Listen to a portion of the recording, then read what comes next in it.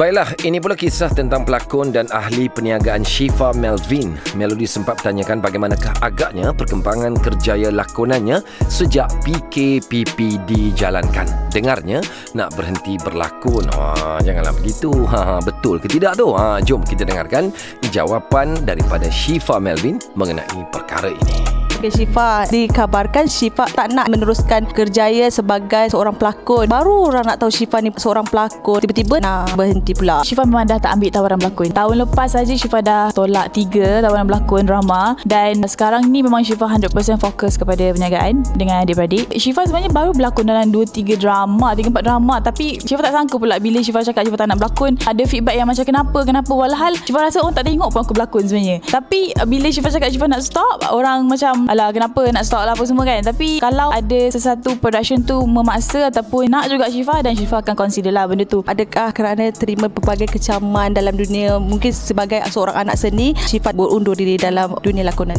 sebenarnya kecaman tu bukan terjadi hanya kepada pelakon bukan terjadi hanya kepada artis kepada influencer pun kepada orang-orang biasa pun kalau orang nak kecam kecam. So orang kata kecaman tu bukanlah sesuatu titik tolak di mana Syifa decide untuk tak nak berlakon. Sebenarnya kecaman tu kita buat salah ke kita buat salah ke kita tetap akan kena kecam kan? So Syifa memang decide macam tak apalah. Mungkin bukan rezeki Syifa dalam bidang lakonan dan Syifa pun rasa minat Syifa pun memang bukan tak ada bidang lakonan. Sebab Syifa tak pernah uh, kategorikan diri Syifa sebagai seorang pelakon pun. Syifa rasa apa yang Syifa berlakon just sekadar nak rasa nak rasa macam oh macam ni punya jadi pelakon. Syifa sekadar nak mencuba tapi orang kata mungkin minat Syifa bukan terhadap bidang lakonan kot sebab Syifa tak suka menunggu. Syifa lagi suka buat apa yang Syifa buat sekarang. Sebagai seorang influencer sebagai seorang businesswoman dan insyaAllah kembali menjadi pelajar balik nanti. Okey itu mengenai kejayaan Okey Syifa baru-baru ini Syifa ada memuat naik satu posting di IG story mengenai Syifa mungkin terenaya atau dipitnah apa yang Syifa boleh katakan dan kongsikan kepada peminat di luar sana tentang mungkin ada orang keliru dengan siapa sebenarnya yang dipitnah Okey sejujurnya Syifa terkejut juga sebab posting tu hanya 3 IG story saja tapi orang menganggap benda yang serius kan?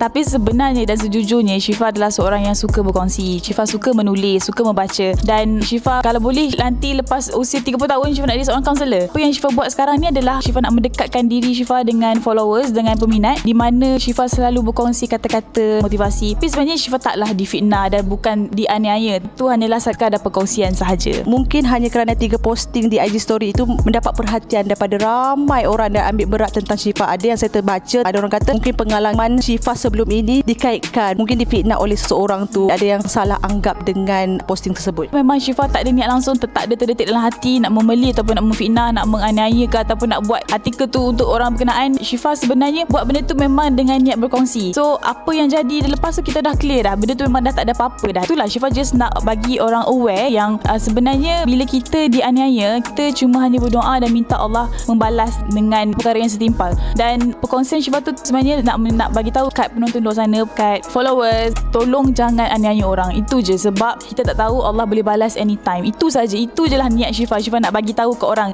Sebab Syifa suka berkongsi so tak sangka pula dengan tiga entry tu boleh membuatkan orang kata viral sampai ke Melody datang ke office hari ni untuk, untuk terja ha, itulah itu je sebenarnya. So, tak ada istilah membeli siapa-siapa lah. Tak ada memang sumpah memang tak ada membeli siapa-siapa langsung ha.